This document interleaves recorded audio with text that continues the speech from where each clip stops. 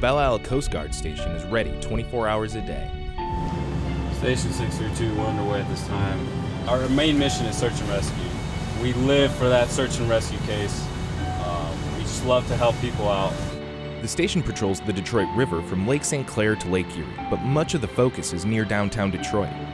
We pretty much stay in the area of uh, high traffic, high population areas such as the Ambassador Bridge, closer down towards the steel plants. Today, they're performing safety checks on boaters on the river. And then we just check overall condition, life jacket, make sure it's in good working condition. Our job at the end of the day is just making sure that the boaters out here are safe, they have what they need to have, and in the worst case scenario, that they can make it home that night.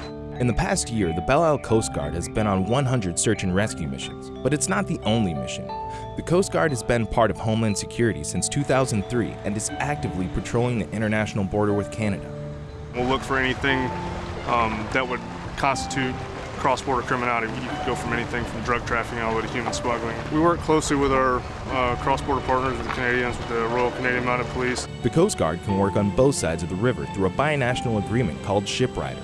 Detroit and Windsor, Ontario were part of a pilot program in 2005, setting up the framework for the current agreement. When we're working with the Canadians on the Canadian side, we're considered peace officers in Canada. We're certified peace officers. We can enforce Canadian laws in Canada.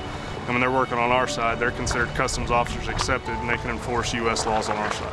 No matter the situation, the Coast Guard are trained and ready. We'll work two days on, two days off, and uh, every other weekend we will have um, on.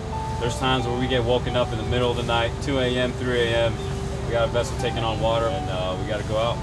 And we're out in about two minutes' time, and uh, we're searching. For more stories on the U.S. Coast Guard, head to greatlakesnow.org.